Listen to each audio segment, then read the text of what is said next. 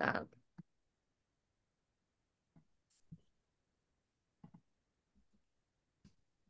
Hello, everybody.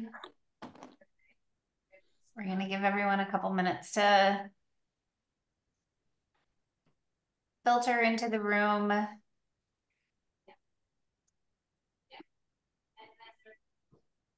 am going to silence all my chats. Just did that too. Yes. We're all pinging in here.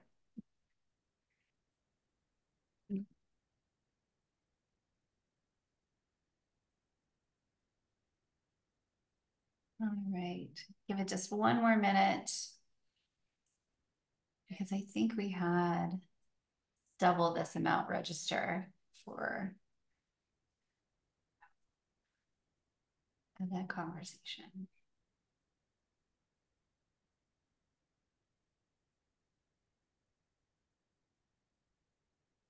I see that we have some artists and some clients here, which makes me so happy to have such a wonderful cross section across the, the industry.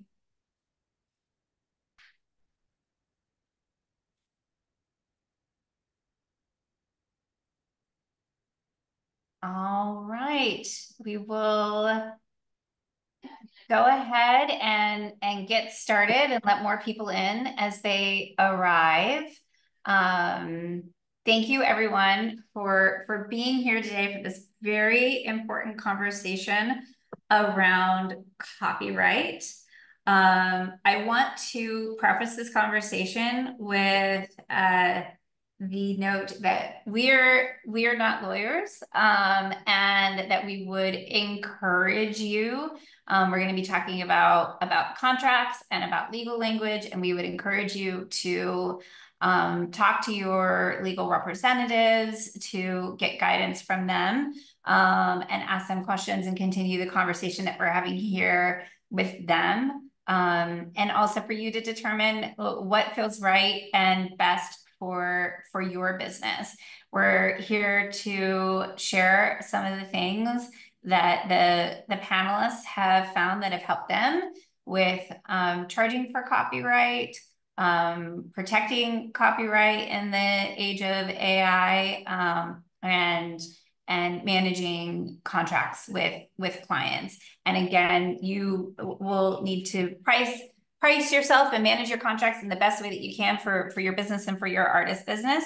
Um, but hopefully we are pulling back the curtain a little bit and having a really candid conversation. So please feel free to drop questions into the chat. We will do our best to monitor them and also leave some time for, for some Q&A at the end. So I am really excited about today's panel.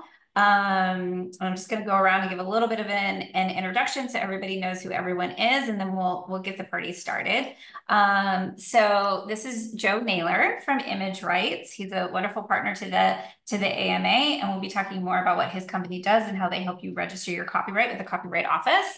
Um, Juliette Wolf-Robin from from the APA, who is a wonderful advocate for our our industry um, my fellow partner in crime, Mary from Big Leo, um, who sits on the AMA board, and Shelly Waldman, who is a photographer that isn't represented, but is having a really amazing conversation with other photographers in our community, helping them find a lens on which to see and value their, their work. Um, so thank you guys all for, for being here today and and having this conversation.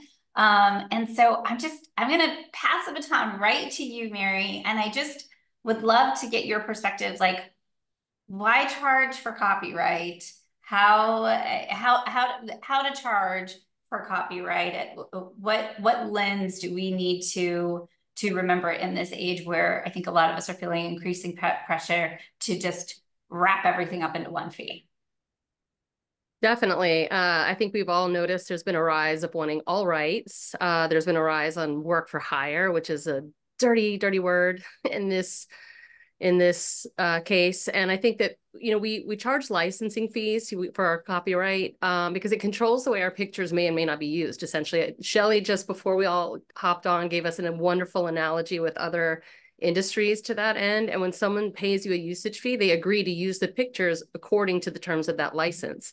When they own it, they can do whatever they want. You will never see another dime. They can uh, third party license it. They could sub licenses, uh, license it. Once you give it away, it's gone. And the only control you have over those images is by retaining the copyright, licensing it per the usage the client needs, and charging accordingly. I mean, that's the short answer, right?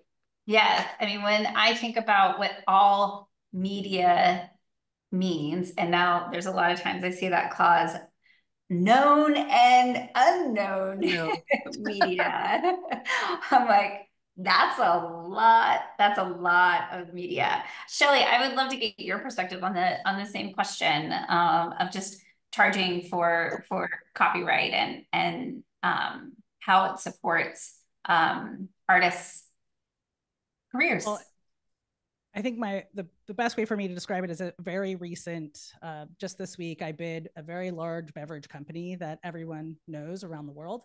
Um, they're known for their red and white label, and so um, there's a few of us in the industry who all just did this exercise. I found uh, at least one other photographer who was bidding on this, and they chose to wrap their numbers all into one lump sum. And I was kind of surprised, actually. Uh, this is somebody who's been in the business for a very long time. I look up to them. They're like a mentor to me. They've been in it for like 35, 40 years. And I sat with that for a long time when I heard that because I was in the midst of doing my estimate as well. And at the end of the day, like if you don't break out your usage fee and someone comes back to you and says, hey, like in this case, it was for a one year usage um, and if they come back and they say, hey, we want to expand this, and you've wrapped it all up into one number, and let's just, just for number's sake, I'm going to make it really easy numbers, right? Let's say you said that number was $20,000 and now you want to charge them $30,000 for that extension. Well, logically, the numbers don't make sense. Right. And someone's going to say, well, you know, you only charge us 20 for the, like when you actually came and did the work and did all these things and blah, blah, blah, blah. How are you charging us more? Right. So if you're not breaking it out ahead of time or saying what the usage is going to be further down the road, it's really hard to then have that conversation. Secondly, usage is how we make a living. Um, that's actually where you're making your money, and that's actually where money comes back. I actually was in Chicago and just had a conversation with a friend of mine who, like four years ago, shot for for another well-known restaurant, really big restaurant, national chain, and she shot for both their e-commerce line and the restaurant. And out of the blue, she got an email from them saying, Hey, I think we owe you money and we want to license this image. And she's like, Oh, yeah. And she totally forgot about it. She doesn't do photography commercially anymore. She's actually on the art director side in house at another company now. And she went back and she said, Well, actually, you've been using these like 17 images out of, out of, date now for like three years and if you want to license this other images going forward like here's the lump sum that you'll now owe me and they turned around and paid her so this is a chance for one for you not only to control the images a little bit, but also to really help clients understand like where are you really using these images. Um, I think it's like a shot in the dark now when they just say like, "Hey, we want to use it everywhere," and you're like, "Okay, but what is like the main place you actually think you're going to put this?"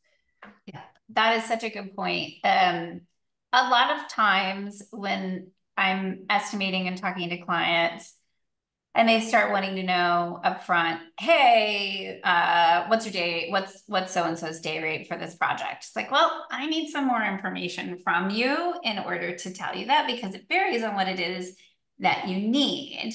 And a lot of times people will come back to me and ask for a buyout, and I will counter by saying, I would love to show you some options that are going to make things a little bit more affordable for you. And I'll go ahead and lay those out within the estimate without people asking me and say to them, like, if you, you know, because a lot of times they'd be like, well, this is just social only, but we want to, we want to buy out. And to me, I mean, social only is everything these days. it's like the main form of media. So the social only doesn't really uh, resonate with me anymore. Um, and I set some terms to it. And I will also set some terms for renewal. And I'll give a client like three months and I'll say, you know what? If you're really loving the way these images are, if you want to go ahead and start purchasing additional years within this 30 day or 90 day period, I'll give you a bigger discount. And so that allows me to work within tight budgets. Does it always work? It doesn't work, but trying to have the conversation about what do you really need I have found to be helpful. Mary, do you have any strategies like that? Yeah, we do something similar where if somebody's asking us to bid for a year or two or this or that, we try to entice them to buy a longer term by saying if you exercise this option now, it's this versus if you wait till the term is up, then it's going to be a full renewal fee. So we do something similar for sure. yeah. Shelly, are you hearing that on your end from some of the photographers that, that you're having a conversation with? Or are there any tips and tricks that you could pass along? I will answer that in one second. I see Juliette keeps raising her hand, so I want to make oh, sure I'm she gets she gets her she gets her thought out before please. we move too far out. Yeah, I, I was just going to say, and David had brought this up on the chat also, the idea that we're talking about a creative fee versus charging for yes. the usage. Good it's point, not charging David. for the copyright. You're charging for use. yeah. And that and that is really important to make clear because um, as we were talking about separating out, there's there's the day of you're handling the the production and then there's the usage which can vary and change and then it could end up being much bigger than you had initially thought because maybe they only start off thinking we're only going to use this in this very small time period in this one place and then they love the image so much that now they want it on their packaging. They want to put it everywhere. They want to do billboards and to have given it away because you thought that it was only going to be this small usage um, really under undersells the value of what you brought which is so much more than just having been there that day but how the image is going to be used in usage. And you bring up such a good point. Thank you for clarifying my own language. Um, within contracts defining what a buyout means I have heard is a very important thing for people to understand because for some people that means that you're transferring your copyright. For other people it means an um, in perpetuity license for all media. And there is a difference between those two those two things Julia, do you want to talk a little bit about about those differences? I'm just going to say never give up your copyright. No matter what ever never give up your copyright never let anybody do that even if you decide that you never need to see this photo again and they can use it any which way and you're fine and they've paid you enough you still want to retain the copyright. And what's even better is if you registered first, which is what Joe's going to talk about. If you register, then the Copyright Office knows that it's yours because even though you own the copyright when you've taken the photo, you do not you you want that extra protection to be able to show look i sent it to the copyright office. They have a copy of it. This was the date it was taken. You can see it here. And then there's no question about it later. So um, having that full protection in case it's used in any manner that you didn't want it used or Im- improperly um, and being able to have that advantage of being able to have registered it Yes. Joe, uh, I feel like that's just a natural introduction to yeah. you and to to ImageRights and um, love to get your perspective and just continue the conversation around these terms buyout versus copyright transfer and and why it's important um, to even if you are granting license to your image with a client um, for your image with a client why it's still important to register your copyright. Yeah. So first of all, thanks for giving me the opportunity to join the conversation here. Uh, yeah. So, you know, ImageRights, we've been offering uh, registration services for 15 years now. We've registered over 1.4 million of our clients' images over the years. And uh, and then that's in conjunction with the the copyright enforcement work that we do. And where that experience kind of plays into here is we we see um, what can go wrong when the language isn't tight in a contract, and we can see what goes right or can go right if that language is is correct um, or comprehensive and very black and white, no ambiguity. Um, but just just kind of a quick refresher on the whole point of registering with the Copyright Office. It, it's really to put you in the best position to pursue a claim should you find yourself infringed down the road. And if you if you haven't registered, then uh, you don't have the ability to file a complaint in the court unless you go out and register it. I'll get to that in a second. Um, and so the other side knows that. And if they have an attorney and they're savvy, they understand that you don't really have that much leverage in that situation. If you have registered, you can file a complaint, um, which gets you a little bit more uh, into a stronger position. But uh, if it's not timely registered, it's it, you're basically pursuing um, actual damages or disgorgement of profits. And you know, it depends on what type of infringement we're talking about. But for most online infringement, um, it's pretty, you know, it's basically impossible to tie how much of a company's profit is attributable to the use of the images on their website or what have you. Um, and so then you just revert to actual damages and it's whatever the, the normal licensing fee would be. But importantly, if it's not timely registered, and I'll define that in a second, it, um, you don't have the ability to pursue attorney's fees. And so lawyers are not as uh, compelled to represent these cases where, you know, at most you might be able to get a, a license fee uh, and that uh, is quite likely to be less than what their billable hours would be for even pursuing that case. So really, the, the what you are really going for, and frankly, why um, making registration as part of your workflow is so important, is that you want to be in a position where your claim is timely registered. And there's two ways for that to happen. Uh, one is that you register your works with the Copyright Office within three months of publication, the first publication. And uh, there's a very technical definition of publication under the Copyright Act. And that is essentially when you first offer another party one of the Section 106 copyright rights um, uh, uh, to make copies to display or to distribute, um, whether or not they actually do it or not. I mean, if you send the photos to the client and the client doesn't end up using them for whatever reason, um, you still publish it because you sent it to them. So if you register in three within three months of that date, or if you've registered them before the start of the infringement for uh, a given claim.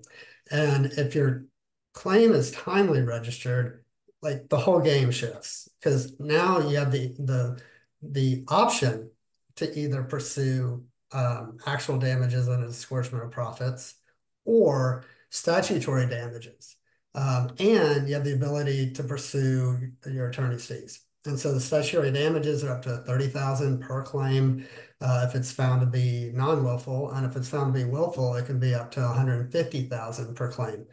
Uh, and so what that does is when you find yourself in a situation where you've been infringed, you, you're trying to work it out amicably, i.e. trying to resolve it without actually sending it to an attorney or filing a complaint. Uh, the other party, if you can show that it's registered, um, it just puts you in a much better position to get something done. And then if they don't uh, kind of negotiate in good faith or they blow you off or whatever, then you can pass that case on to a, a, an attorney and they can file and put like maximum pressure on the other side to come to the table and negotiate a deal. So what happens? I have two questions for you. What happens when you don't register within that three month period. It, let's say that I have an artist right now that is uh, wanting to go back and register their archive. Is that a possibility? Is the window gone? What does that, what do those options look like for that artist? So the window is definitely not gone. Um, so you know, for the, the second scenario in which it can be timely, it's if you register it before the start date of an infringement.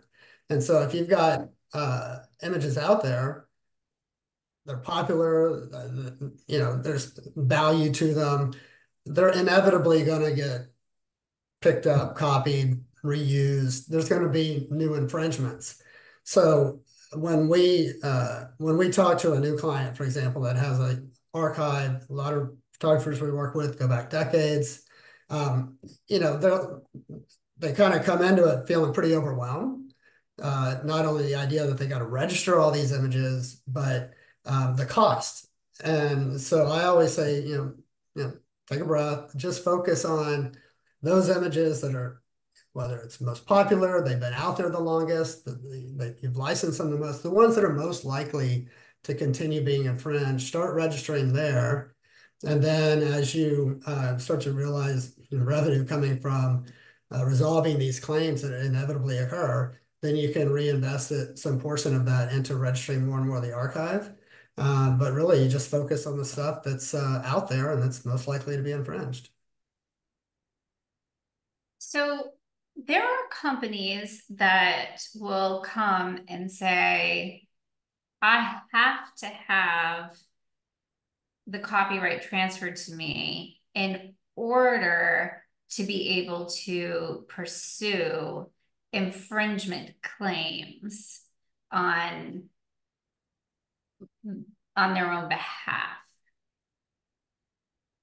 Any thoughts on that, Joe, on how you can talk a client through why they don't need the copyright transferred to them in that scenario? Yeah, I, I'm not sure why a company would say that they need to do that. I'll just put it that way. Um, like when we work with clients, you know, they either own the copyright or their LLC does, or they work with a, an agency handling like secondary market sales of licenses. And, uh, you know, so uh, maybe they work with an exclusive licensee to, to distribute the photos. So they would have standing to bring a claim. But otherwise, there, there's no reason that a, a copyright holder um, should have to assign their copyright to the company that's helping them resolve the claim unless they're doing something that I don't know, you know, what they're doing. But would the model also have a claim that, you know, if there were people in the photograph, the product, other people might have other types of claims uh, that are not copyright? Yeah, I mean, there could be right of publicity claims for sure. For um, sure.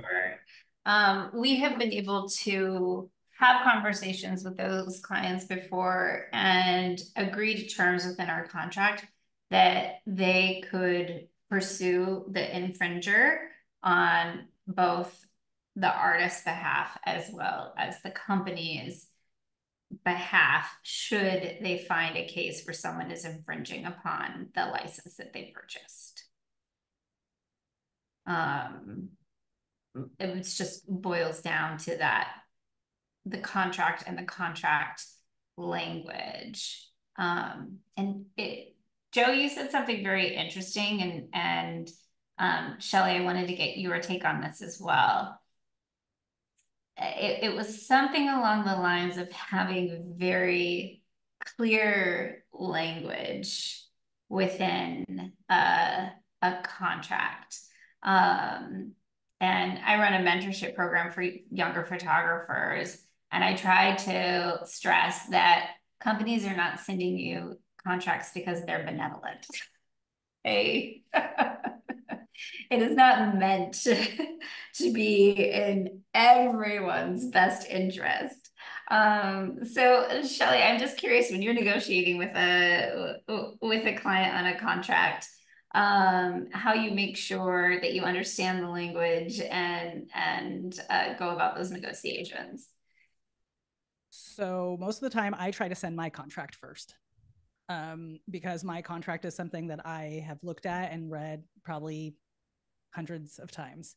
Um, but specifically when it comes to usage, I actually have a template that I created um, that breaks everything out and it's based on the ASMP book, which I love. It's like my Bible for those that don't have it. I highly recommend going to Amazon and buying it right now or buying it through ASMP um, they break down every section that goes into a usage license and you literally can make yourself a template and be like okay this some of those things may not necessarily apply to the type of work you do anymore but like you know if you you can say this is for organic social only this is for to social media channels. Um, you know, this is only a one-time post and uh, they have archive rights, meaning they don't have to take it down after they post it after a certain time. So you can get super duper specific, which also helps you on the money negotiation side. So if you're working with a client who's like, I want the moon. And you're like, well, you don't have the budget to get to the moon. You have the budget to get to like, you know, five miles down the street.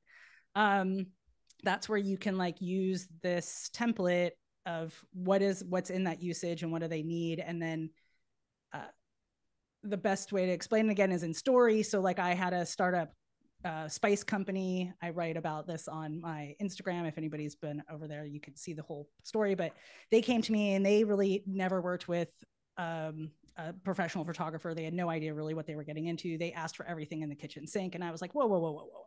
You guys are just trying to start your like online store. So let's start with usage for your online store. And let's see where you are in six months when you actually have money in the door. And then you can take that money and expand your license and they were like oh but we want everything now. Like we don't want to sign your contract because we want and i'm like but you don't actually one have the money for it and two it just doesn't make sense. Like you you're putting the cart before the horse here. Like let's see if your product actually goes and if it goes then like you know expand the licensing for the imagery. And the same thing goes for more established companies. I work a lot in wine. For those that shoot wine you know wine bottles that year on the wine bottle changes every year now, yeah, they could go in and Photoshop it and all that good stuff, but they actually have to have the talent to do it and they have to know how to do it. And it's much cheaper for them to just license it for a much shorter period of time and have the photographer come back and shoot the new lot because they might redesign that label. They will have a new year on it. There will be new flavor tones. There might be like, you know, there's all the mass fires in California that changed the flavor tones. So they actually changed the stuff that's in the wine. So thinking through like actually being a solution oriented person for your client instead of being like you owe me this and it's x it's like no no no let's talk about really like how can i best serve you um, is how i approach it. And when it comes to the language i use that template to be really specific so that when we're talking about it and when i send the estimate over that template goes with it. It's a piece of the negotiation that follows all the way through to delivery and then that template ends up becoming the final doc that gets delivered with the photos at the end. I love fantastic. what i'm hearing is that you're specific. And that is having that job description, having that usage description. And this is something that I think is really important. And I believe it's in the AMA bid guidelines to be clear about what your deliverables are and people want 20 key visuals, list that out because when people go above that, there's value in the fact that you rocked your shoot day and you gave them extra. Um, and Mary, I see you nodding your your head as well around the conversation around language in in contracts and in licensing. And I know you did a little background research to talk about the tricky ways that sometimes contracts will have conflicting language. Um, mm-hmm. I'd love for you to share share that with us. Well, Shelly, I was going to ask you when you mentioned presenting your contract first, if you're if you're presented right back from that client, their master services agreement which potentially has that conflicting language, which is, hey, this supersedes everything and it's work like work for hire is tucked in there, which we've had before. And we've had to go back and call it out and say, you know, our language has to supersede this. And they're like, no, this is our policy. I mean, we had a war with a billion dollar global company who insisted that the image was their IP. And we kept saying the, the product is your IP. The, the photograph is the, the photographer's IP. So it is tricky because you will get a purchase order, a master services agreement, something that has conflicting language that totally negates everything you put forward. And if you sign that without reading that, without seeing the specific language that is laid out from the ad agency or from the client, and there's some negation in there to everything that you worked so hard to present and specify, you're screwed you know and we're lucky we've just learned sometimes the hard way over the years. It comes from a lot of experience in reading these terms and knowing what they mean. But you just have to have a keen eye on where that language is negating exactly what you are trying to give them. Well, Which even in editorial, they know what yeah, they know what they're doing. I was just gonna say, like, even in editorial, that language shows up. So yeah.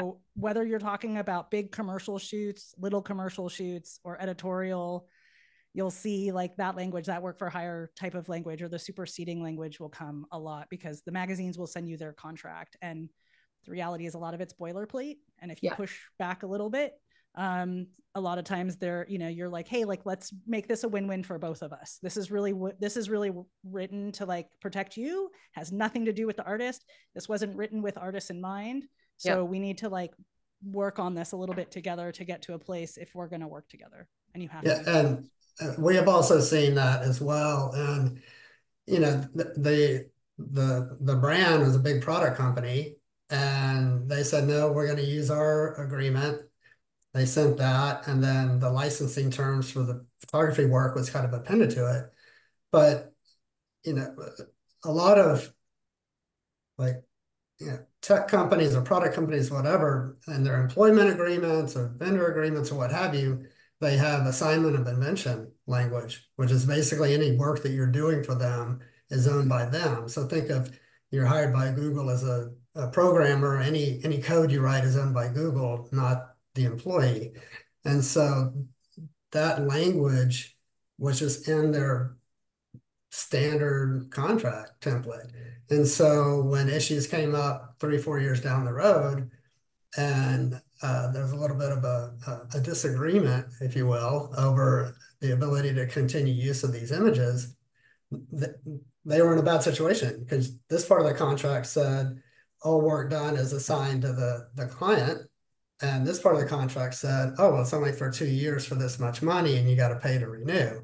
And frankly, the fact that either party signed that kind of led to the conflict. Um, but it just goes to show like I'm fully on board with Shelly. Like use your paper as the contract. But if you are put in a position where you have to use the other side's paper, make sure that you have your copyright attorney go through every single line, even the parts of the contract that don't seem like they apply to what you're doing, uh, could come back and bite you. Which I think is why it's key to have community, to have network, to have people that you can have uh, that you can ask questions to.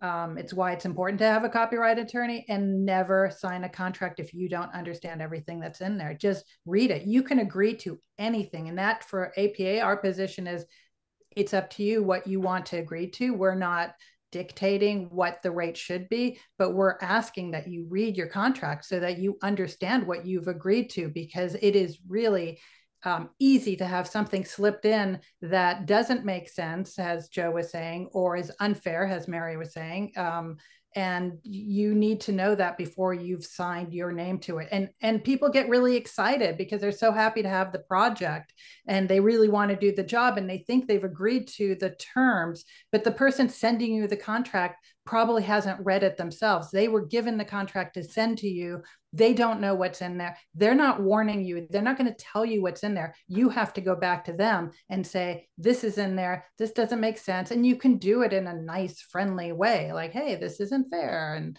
you know, just to for clarity, because this is going to be a problem for both of us. And we don't want that. So um, trying to find a way to, to make it work. And that's, you know, why Shelly's here today also is like, if you have a rep, it's great to have somebody else who's doing that, who's, who, you know, so you as the photographer can always be the friendly one. And the rep is the one who's going in there and saying, hey, this is what we need to negotiate. Um, but Shelly's here to say, as a photographer, you can do it for yourself also and do it in a way that's that's meant to be helpful for them as well.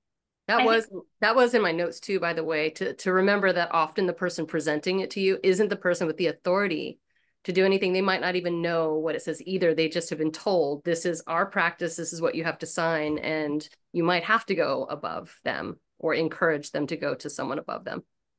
I think the idea of community is really so unbelievably important. Um, I know until the creation of the AMA, um, I eh, would have people tell me, you know, apostrophe is the only one that ever comes back and negotiates on contracts. and uh you guys and are an anomaly. Yeah yeah. like oh you know so and so agency and so and so agency never asks for this sort of thing. And they would drop fellow board member names and i'd be like i know they do. I can trust that that they do. And i'm i'm i'm not trying to be mean. I don't think anything that we're trying to advocate for at least within my company is anything but fair fairness. And and also in this age where we are all very concerned about ai we'll start to shift the conversation that way because i see that it's starting to pop up in the chat.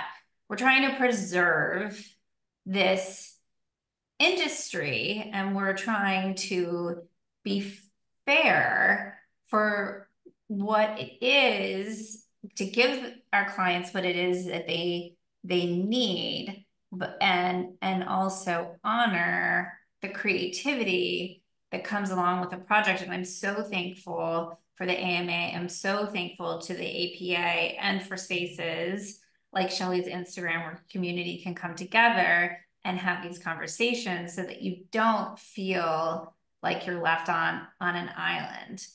Um and i see that that things are are starting to pop up in the chat about about ai and we do have language from the ama that we have created uh that we are encouraging people to review and if it feels appropriate for their business to add to their contracts about uh, machine learning um, and perhaps um, Jen or Madeline, you guys could drop a link to that that in the chat. Joe, maybe you can talk a little bit about about adding that legal language and and and the importance of registering your copyrights in the time time of AI and how that can help you um, when you are seeking damages for infringements. Well, I mean, it's it's a very tricky situation. At the you know kind of the bottom line is you got to do what you can control. And the things you can control is register your work. Um, it's putting language to protect yourself in your contracts um, and insisting that it be there. Uh, you know as far as language for prohibiting them from using it for training purposes and so forth uh, have it um, I, there was one comment like how would you know that they ever actually did that with it though. Um, well, you may not, but at some point it might come to light. So have the language in the contract, have the images registered, and be in a position to to enforce your rights and to seek compensation if it does play out that way. Um, I mean, for me, that's the bottom line. Don't get too caught up in the litigation that's going on with you know with the the gen ai models and so forth. Just do what you can control and really those are the two things you can control. Yeah and if you've given it away already it's not going to matter. Yeah. I i think that that is um really something to to understand where you also have conflicting terms in in the contract um, and defining what it means to distribute and edit and make derivative works um, from from your your work. And usually that is very much um, from what i see just boilerplate template that gets that gets that gets sent out. I recently had a contract come to me for an artist and um, many times things are moving so fast that the job gets awarded and you have to jump into production right away. And we are forced to start spending money or make commitments to spend money. Um, and our trusted vendors trust that we are going to get our advances in, that we're going to sell the contract through. And so they start that work and we're negotiating the contract. And I had a situation where a contract had conflicting language. And I did not get the contract signed back to me. Um, or actually just the revision that I needed. The job happened over a month ago and it came in my inbox last Friday and I'm still waiting for counter signature. And that's a really scary place to be because my company, we've done the job. We've fronted the money and we're still in in a space of trying to negotiate that contract. Don't do that, friends. Don't it's do that. I yeah. say this to humanize myself so everybody knows that like it does it does happen and it's a very scary place and That's trying to have yeah um and trying to you know navigate when jobs are not as plentiful as they were in past years and and making sure that our artists are wanting to do they're wanting to do these jobs they're wanting to have this happen um, and balancing that can be really, really tough. And so I share that vulnerability with you guys so that you know that that this happens. Mary, it sounds like this happened to you too. Yeah, we just, you know, we had had precedent with a with a client with whom we worked through an ad agency, and they came back to us to shoot directly that summer, and all of it was you know, proceeded with. It's the same project, it's the same usage, all that stuff. And the day we were pre-lighting, they sprung that MSA on us, which had, which had all that conflicting language. And so it was stressful to have the photographer already pre-lighting, already having received product, ready to shoot. Like, like you said, people were confirmed, about to start. And now I'm negotiating with their general counsel, who was not very nice and not very agreeable. And actually told me I was souring the business relationship. And the only person who would suffer was the photographer because I was negotiating. And like you spring your contract on me the day we're pre-lighting. That's not fair. Yeah. Yeah. In this instance, we had already gotten the advance too. So I was like very confused at the conflicting, conflicting terms. Um, Shelly, are you hearing that from your community as well? Do you do you find that photographers are running into those instances? Um, I think we're running into all kinds of things. Yeah. um, I'm in a bunch of different groups and I live I I live in two countries. So I'm in England and I'm in the US. So I hear different things happening in different parts of the world.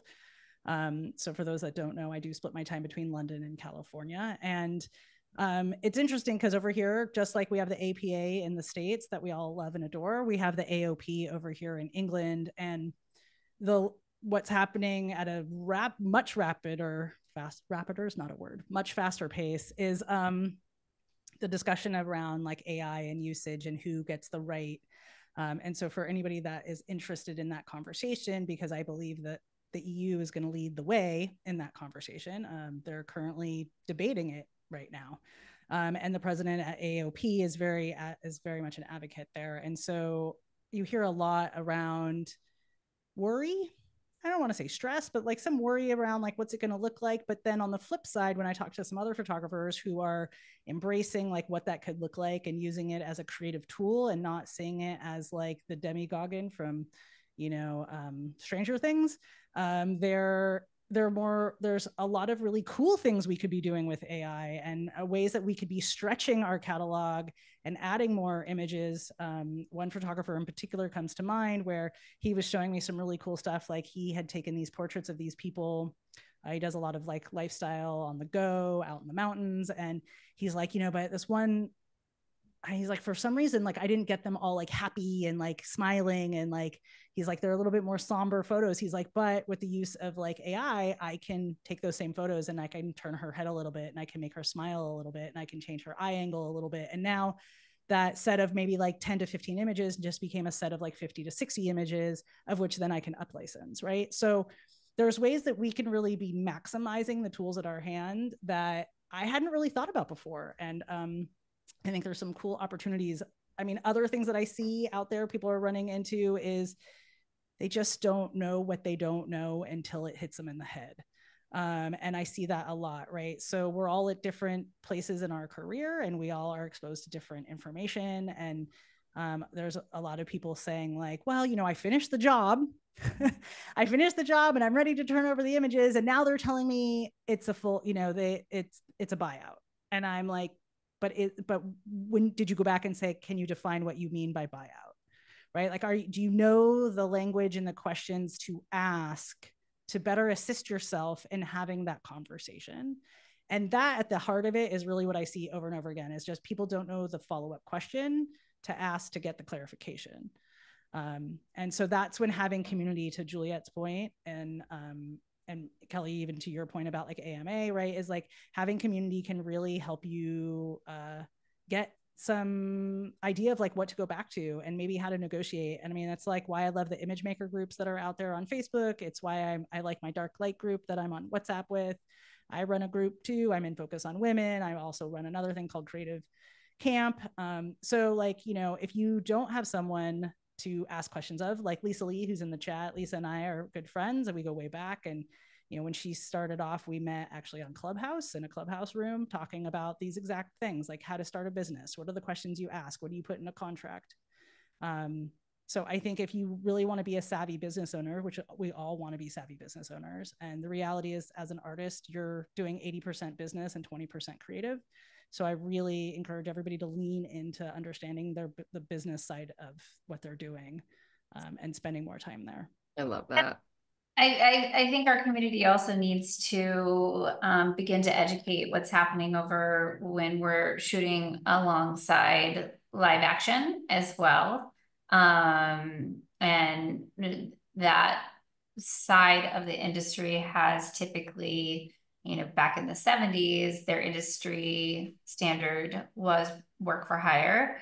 Um, and that they don't.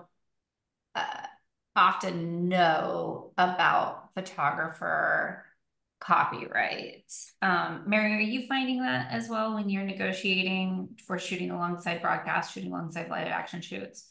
Absolutely. I've been approached by many production companies who out of the gate say it's it's work for hire and I retaliate. I'm like, no, it is not. um, and again that's why this education is crucial we're out there uh, and i think when we were at the aicp week handing out those cards so many people were grateful because they didn't even know what usage was directors and producers and i think it's so important for us to continue to educate our community because then we don't run into that shelly when someone or what you said earlier kelly with someone saying well so and so doesn't do that and so and so it's like yeah we're all talking so we know very well that we are doing that and that's yeah. where the education is crucial but yes, I do get approached all the time, like by production companies and broadcast. And and to clarify, education doesn't mean colluding. Education just means sharing what it is that you do. Ultimately, you're going to make the best choice for your business in terms of how you price yourself. And it might be, you know, in a particular situation where with a client where you feel comfortable transferring your copyright I really truly hope that's not the case and but no judgment because you're going to make the decision that's best for for your for your business. We're just here to make sure that everybody understands what some of the alternatives are. Yeah. We have about 10 minutes left left in the conversation. Just wondering if there's any questions within the chat um, from anyone. We want to make sure that we have we have time for people to to ask some follow-up questions. Don't be shy. Don't be shy. And, and say, Kelly, on that conversation about um, work for hire for a production company, I know in a previous conversation that we've had, you brought up why there's va- there was value to production companies signing a work for hire that is not transferred to photographers doing a work for hire. I wonder if you could speak to that. Remind me of when this conversation was. I think it was when we were prepping for the, when we were talking about having this webinar, and you were saying that there's um, there are uh, the value of a production company, what they're getting for what they're being paid. That's yeah, in the, in the work for hire of a commercial is different than a photographer who's doing the print portion of it. So they're not getting the same benefits yes. of the, the project? It's a different, it's a little bit of a different compensation model. Um, you know, it, uh, and I will say that I do know there is a conversation that is happening with live action production companies around, hey, once upon a time, way back when, when eh, eh, you know, TV was the only place or the primary place that you were going to put a video and you were uh, promoting packaged goods and deodor or deodorants or whatever that that that made sense for that time. And now uh, the industry has changed so much uh, shouldn't we revisit this conversation around our directors and and their copyright especially in light of things like the Under Armour um, ad that that recently came out and sent some shockwaves throughout the industry so there is a conversation that is beginning to be had over there.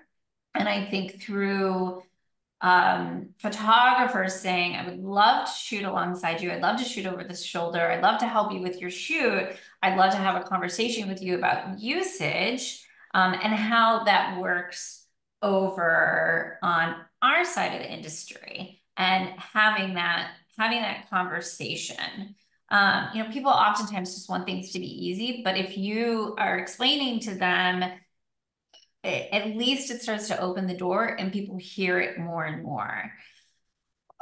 With the live action production company, the markup model is um, how is the primary mode of, of compensation. So that's anywhere from 18 to 26% um, from what I've heard um, that they are charging a markup for for a project and they don't take commission on on the director's fees. Um, that's just kind of broad strokes as far as i as i understand it.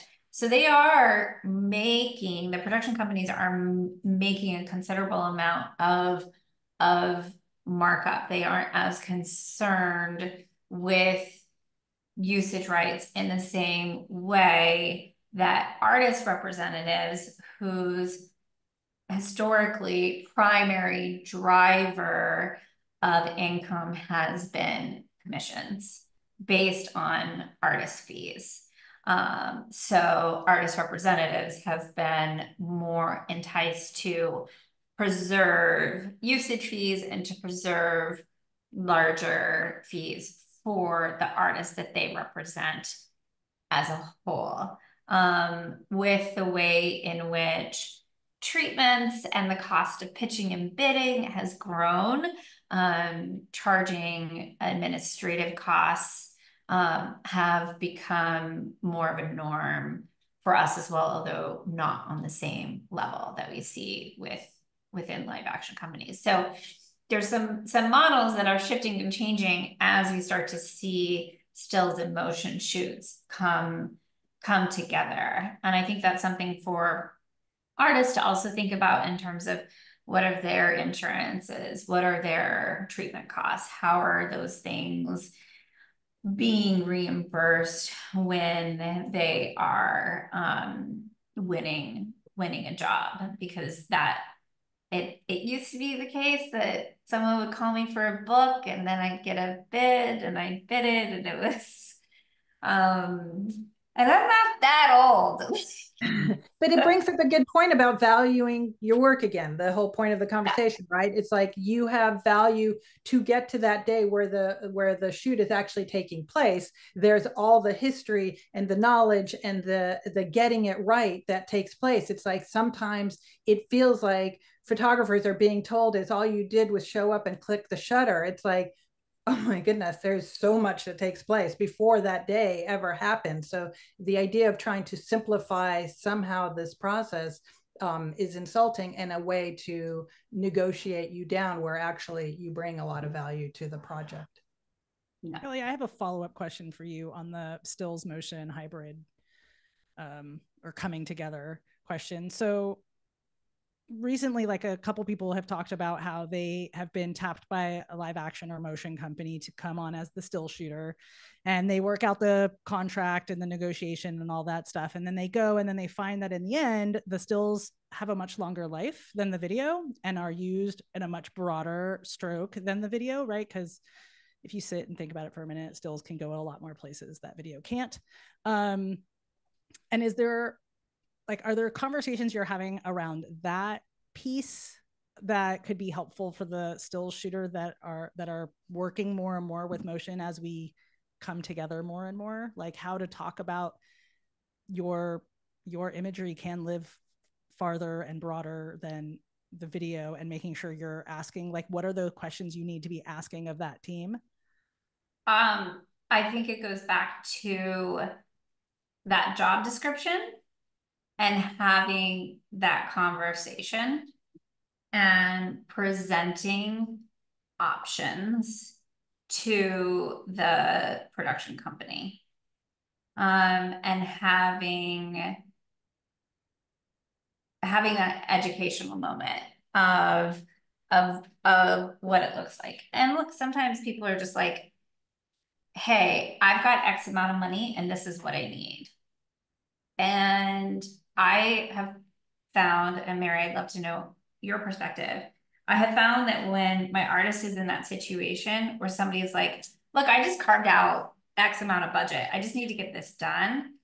That they have a miserable experience on that set that they don't they don't get images that they can use for self-promotion because they weren't thought of, their unit wasn't thought of, there wasn't time in the schedule for them they uh, people just assume that they can shoot over the shoulder and get the right eye line and it just never really works out.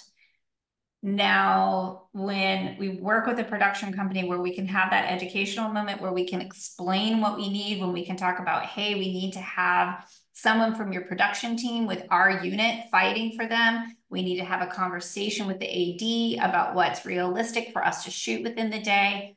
Those shoots are the shoots where the stills are the best and where we walk away with something to promote and the clients are really happy and where we've able to, been able to have that conversation around usage. And so when I say like, you know, this is just for some BTS um, and and some some social um, or typically work for hire. I'm like, okay, well, listen, if you want BTS and social, this is what this rate is. Yeah. If you want a complete copyright transfer, we don't do that. We would give you unlimited time, unlimited use in perpetuity, and this is how much that costs. Can we have a conversation about this? And usually they're like, this fits within the budget. Let me go back and talk to the client. They have that conversation. We do a lot of shooting alongside live, live action as as people have been needing more and more content that's been very I didn't think it could get more popular. It's gotten more popular this year. So in those instances, everyone has a better experience because the stills are valued. Mary, do you find that to be the case as well? 100% and everything you just said one of uh, an artist on our roster just chimed in that she just had this experience uh, recently too we had another photographer who was on a motion set, a commercial set with a celebrity for whom I used to work before I was an agent. And we we was such a missed opportunity because she was just so second class and that situation was horrible. They had no budget. They didn't allocate the appropriate amount of time for her to get in and out of the, the set. So they just didn't value it in the way they should have. And it was a missed opportunity for everybody because those would have been amazing images for us to share too. And we walked away with just nothing useful, like nothing um, and then looked at her portfolio and her approach to stills and said, but you do it this way on this set with no support. It was just horrendous. it's, not a good experience, like you said. Yeah. And it's, it's, it's about having, uh, having the clear communication and, and the willingness to be, I've been using the word vulnerable a lot in this conversation, but the, the honesty of, of what it is what it is that's needed. And there are times where eh, eh, you know an artist is going to uh, say this is worth it to me. I just want the paycheck. I don't care. Like you you as an artist and for your finances and for your life you have to you have to make that decision. Um but i really think that there i know i know i have i know my agents have i know my rep friends have had a lot of success by just having having the comfort the conversation around around usage. Yeah. um been i could talk to you guys all day. Uh it's been so so amazing. Is there any last questions in the chat? Um Everyone's feeling very shy about this, but that's okay. You can follow up with us. No, it is. A, it's a big topic. It always is, and I feel like you touched on something very important about the evolution of our industry. And here we are with AI, right? Um, to back to your point about motion being on that little box back in the day. Now it's on billboards outside. It's at the end of your end caps in grocery stores. It's all over your telephone. We're walking around with people's videos now. So I I agree that I love that we're having the conversation across both these mediums and we should be educating them on usage and you know, hopefully I'd love to see that change for them as well. Yeah, well, I'm sure we will be revisiting this topic in the future. Thank you to everyone who was able to make it and join us for the hour. Thank you to Juliette from the APA, Joe from ImageRights, Shelly, so lovely having you a part of this conversation. And Mary, you're just one of the smartest women I know. So thank you, everybody. Kelly. Thank you. Have a great day, everyone. Have a good one. Hi, everyone.